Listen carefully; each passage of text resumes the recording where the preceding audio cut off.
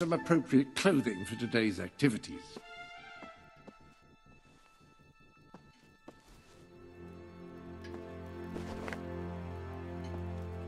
Lady Elise is most eager to speak to you this morning and is waiting for you in the garden.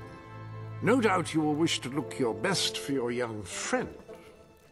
I have taken the liberty of arranging two suitable outfits, if you would care to choose.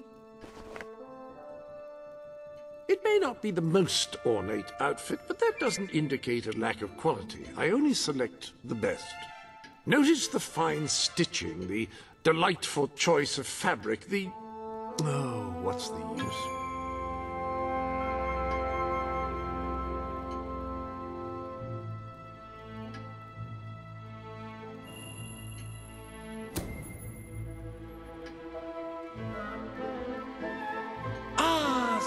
Splendid choice. I'm sure Lady Elise will approve. Perhaps you ought to make your way to her now. And I would recommend avoiding your brother today. King Logan is rumored to be in an ill temper.